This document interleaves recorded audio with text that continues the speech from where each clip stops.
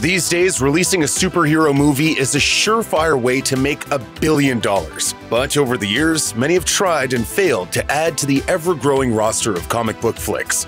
These are the most overhyped superhero movies that never actually happened. The 21st century superhero film craze began in earnest in 2002 with Sam Raimi's Spider Man, which starred Tobey Maguire as the masked, web spinning crime fighter.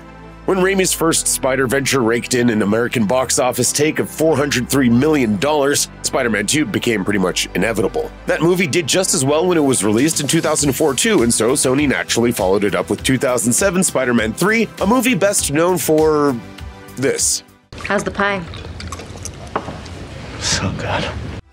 Despite attracting so so reviews, the third movie still earned more money than both its predecessors, meaning Sony was more than justified in greenlighting Spider Man 4 and Spider Man 5. Veteran actors John Malkovich and Anne Hathaway were both attached to the franchise and were to appear as villain Vulture and love interest Felicia Hardy, respectively. And the crew was supposed to start filming the fourth movie in early 2010. But in January 2010, just before cameras were set to roll, Deadline reported that Raimi had walked away from the franchise, having reportedly insisted that a year wasn't enough time to make a good enough movie. Rather than looking for a replacement, Sony canceled Spider Man 4 altogether, opting instead to reboot the series with a new cast and crew. Sony successfully started their Spider franchise anew with 2012's The Amazing Spider Man starring Andrew Garfield as the world's favorite spider bite victim. The movie made a hugely impressive $757 million at the worldwide box office, spurring the release of a sequel in 2014. Shortly after The Amazing Spider Man 2 hit theaters, Sony announced its next big steps into the Spider Verse at San Diego Comic Con. November 2016 would see the release of a Sinister Six movie, debuting the villainous super team on screen for the very first time. Consequently, the previously announced Amazing Spider Man 3 was pushed from June 2016 to a 2018 release date. But the future of both movies was thrown into chaos when Sony struck a deal with Marvel Studios in 2015, allowing Spider Man to finally appear in the Marvel Cinematic Universe. You got hard, kid. Where you from? Queens? Brooklyn. The Sony Marvel co production Spider Man Homecoming hit theaters in 2017, rebooting the franchise yet again with Tom Holland in the starring role. The character has only featured in MCU films since then, while Sony has gone on to develop its own villain based Spidey universe. The Superman film franchise lay dormant for years after the thundering flop that was 1987's Superman 4 The Quest for Peace. That movie earned a genuinely insulting $15 million at the box office, which was just less than its already modest $17 million budget. But in 1996, after Tim Burton's Batman movies had reinvigorated the superhero movie genre, Warner Brothers' Jon Peters brought in filmmaker Kevin Smith to carry on Superman's story. Smith was supposed to rewrite a screenplay then titled Superman Reborn, which was subsequently renamed Superman Lives. But Peters had some bizarre demands for Smith. For example, Superman wasn't allowed to fly in the movie, and he also had to wear an all black suit. There were also a number of polar bear bodyguards involved for some reason, and at one point, Supes had to fight a giant mechanical spider. Smith somehow incorporated all these requirements into his script and even recommended that his frequent collaborator, Ben Affleck, play Superman. Tim Burton was hired to direct, however, and he brought in his own choice to wear the cape Nicolas Cage. Months of rewrites, delays, studio maneuvering, and budgetary issues ensued, with Superman Lives finally kicking the bucket when Burton stepped down to film Sleepy Hollow instead. The franchise was thrown back into limbo, and Kal-El wouldn't reappear on the silver screen until the release of Superman Returns in 2006. Fox churned out a couple of Fantastic Four movies back in the 2000s, the appropriately named The Fantastic Four and its follow up, Rise of the Silver Surfer. Since that second film made significantly less money than the first, Fox didn't go for the full trilogy, but the studio certainly wasn't done with the characters. The studio hired Green Lantern co writer Michael Green to pen a reboot, but three years later, the movie was still stuck in development hell. So Fox brought in Jeremy Slater to write and hired Josh Trank to direct. But shooting on Fantastic Four was a straight up disaster, with Trank alleging multiple instances of executive meddling. He later told Polygon that his creative input was often ignored and that Fox brought in new writers for reshoots, which the studio had allegedly planned from the outset. Scenes that Trank wanted to film wound up cut from the script, while other fully completed scenes were left out of the movie's theatrical cut. The summer 2015 release, Fantastic Four, didn't exactly please the fans, earning just $56.1 million in North America and amassing an atrocious 9% on Rotten Tomatoes. It's fantastic. Say that again? In the wake of that cinematic debacle, Fox removed their planned Fantastic Four sequel from its 2017 release schedule. And now that Marvel Studios are producing their own Fantastic Four movie, you can probably safely bet that this particular version of Marvel's first family is dead and buried. Superhero team up movies are commonplace nowadays, what with Marvel's hugely successful Avengers movies and DC Comics' slightly less successful Justice League. But that whole phenomenon might have begun far earlier if Warner Brothers had seen Justice League Mortal to its completion. Production on this superstar superhero movie began in 2007, with a target release date of 2009. George Miller, the filmmaker behind Mad Max Fury Road, agreed to direct, sets were built, and a cast was hired and fitted for costumes. Armie Hammer was to star as Batman, DJ Cotrona was going to play Superman, Megan Gale would be Wonder Woman, Common came on as Green Lantern, and Adam Brody was cast as The Flash. Warner Brothers earmarked an astounding $200 million for Justice League Mortal, which would have ranked it among the most costly films of all time. Unfortunately, the script still needed a good amount of work, and any potential rewrites were delayed by the Writers Guild of America strike in 2007 and 2008. By the time that had been resolved, most of the cast members' contracts had expired, and they'd long moved on to other projects. Movie audiences were introduced to the X Force in 2018's Deadpool 2, in which the iconic Super Squad was personally assembled by the Merc with the Mouth himself. Unfortunately, it doesn't end well. Oh, yeah. That's right, Bedlam.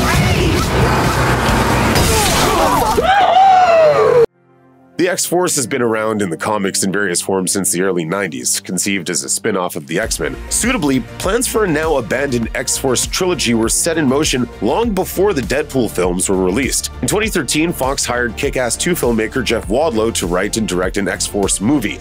He later teased the project's premise to comic book movie, saying, if X Men was about mutants who get to go to private school with Wolverine and Professor X, what about the mutants that have to go to public school? What about the ones who don't have the benefactor looking out for them? Wadlow apparently developed a story that would unfold over three movies, following a band of kids who eventually form a hit squad and Black Ops team. Now that Disney has acquired Fox, however, it seems the chances of an X Force movie happening anytime soon have flown straight into the wood chipper.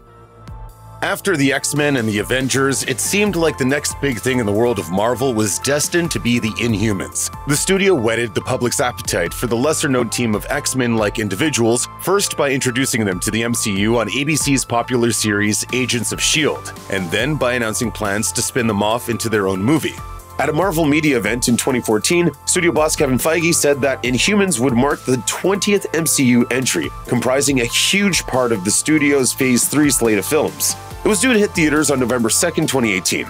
Then it was suddenly delayed until summer 2019, and then Marvel delayed the project indefinitely. The reason? Well, when Marvel made a deal with Sony to include Peter Parker in the MCU, the studio pivoted its attention towards their burgeoning Spider Man franchise. Considering the Inhumans were second tier at best compared to Spidey, the project was quickly shelved in his place and eventually turned into a widely panned and quickly cancelled ABC television series.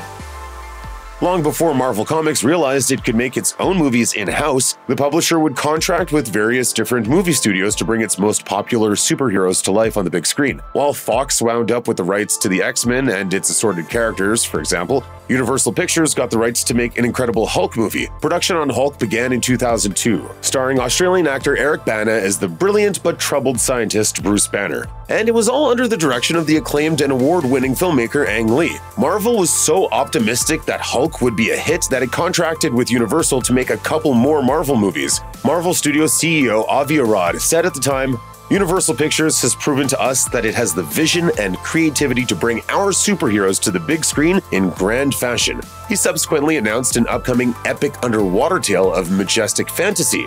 No, not that one. This film was actually Submariner, a story about the aquatic anti-hero and classic Marvel character Namor. Screenwriter David Self, best known at the time for Road to Perdition, was attached to write the screenplay. Apparently, the story was to follow the protector of Atlantis as he discovers his deep sea powers and wages war against the evil Krang. Submariner failed to come up for air, however, and after the project bounced between a number of other filmmakers, the rights to the character eventually reverted back to Marvel. As of right now, the character has yet to make his silver screen debut. At the same time that a Hulk inspired contracting frenzy led Marvel to ink their deal with Universal, the two entertainment behemoths announced another movie based on Prime, a relatively obscure comic book character dating back to the early 1990s. Avi Arad announced at the time Prime is a complete departure from the standard superhero story. With this film, we are developing what we think will be Marvel's first superhero action comedy. Marvel big shots Kevin Feige and Stan Lee were cited as executive producers, while Arad was set to actively produce the film. It was supposed to tell an extremely Shazam like tale of a teenager who, as the result of a government experiment, could instantly turn into an adult, who's also a superhero. Screenwriting duo Don Calumet and Chris Conroy were responsible for the script, even though they had just one feature film credit between them the 2001 Disney Channel original movie Hounded. Seeing as how no progress has been made on this film in nearly two decades, it's probably fair to say that the time for Prime has passed. In late 2018, Deadline reported that Fox had hired Julius Avery, director of the horror movie Overlord, to helm a new, big budget film version of Flash Gordon. A popular comic strip in the early 20th century, it centered on the exploits of muscular American athlete Flash Gordon, who heads into space to fight the evil Ming the Merciless. The last time it appeared on the big screen was as a campy low budget movie in 1980, starring Sam J. Jones as Flash and featuring an iconic soundtrack by Queen. Gordon's alive? After Kingsman filmmaker Matthew Vaughn opted to produce but not direct the movie, Fox accepted a story pitch from Avery, who is a lifelong fan of the Flash Gordon comic strip.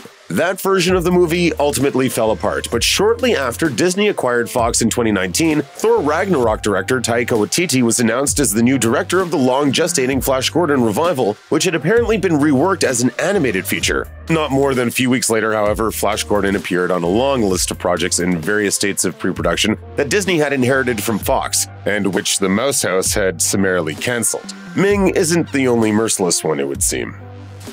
For decades now, Sony has controlled all of Spider Man's many villains and supporting characters. And a few years ago, the studio decided to tell their stories as part of a shared universe. Now officially titled the Sony Pictures Universe of Marvel's Characters, this wide ranging franchise includes every Spider Verse movie that isn't specifically centered on Spider Man, such as the Tom Hardy vehicle Venom and its sequel, as well as Morbius starring Jared Leto as the titular living vampire. Sony also planned a team up movie featuring two other Spider Man characters the mercenary Silver Sable and the ace cat burglar Black Cat. In May 2017, Sony tapped Gina Prince Bythewood to direct Silver and Black with plans for a theatrical release date of February 2019. That all changed in June 2018, however, when Sony took the movie off of its schedule. There were apparently internal problems with the production, specifically that Prince Bythewood reportedly didn't much care for the shooting script she'd been given. Continuous delays over the script meant that meeting a theatrical release eight months later would have been next to impossible. However, it wasn't long after scrapping Silver and Black that Sony decided it would instead pursue separate movies for the two characters, both of which are currently in development.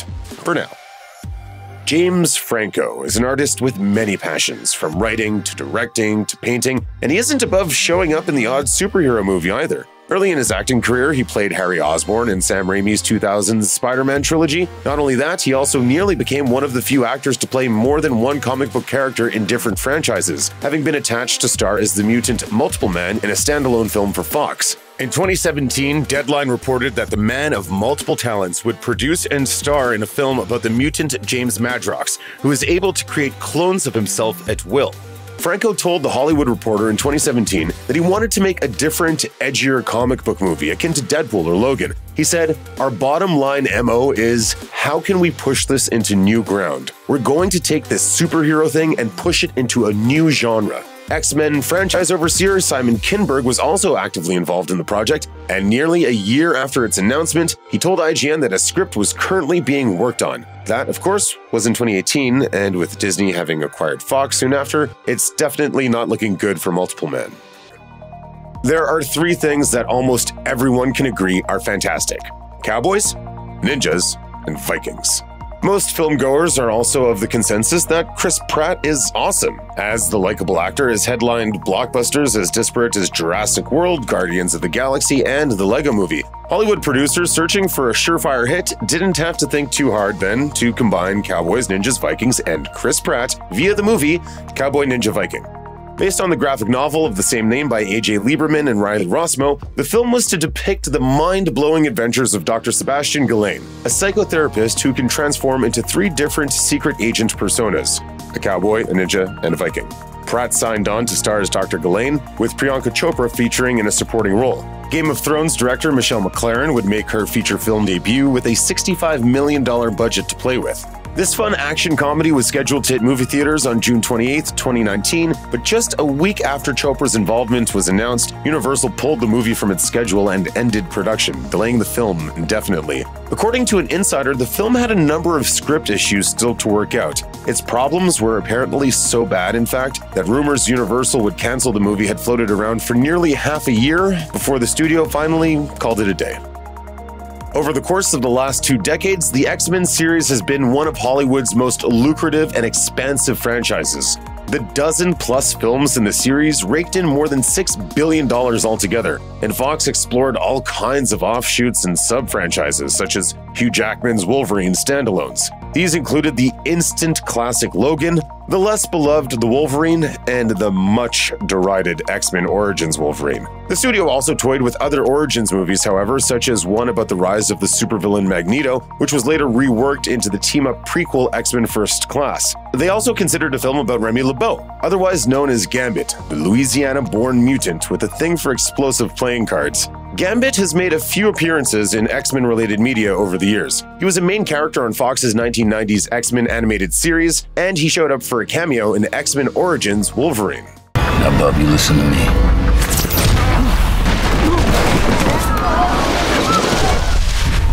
When announcing a solo Gambit film, however, Fox ignored Taylor Kitsch, who played the character in that film in favor of 21 Jump Street and G.I. Joe star Channing Tatum. A succession of high profile directors circled the movie, including The Bourne Identity's Doug Liman and Pirates of the Caribbean's Gore Verbinski. Somehow, though, Fox just couldn't get this movie off the ground, and the studio delayed its release once or twice in 2019 before settling on March 2020. After Disney acquired Fox, the House of Mouse quietly canceled the movie, finally consigning it to the ash heap of Hollywood history. Check out one of our newest videos right here. Plus, even more Looper videos about your favorite movies are coming soon. Subscribe to our YouTube channel and hit the bell so you don't miss a single one.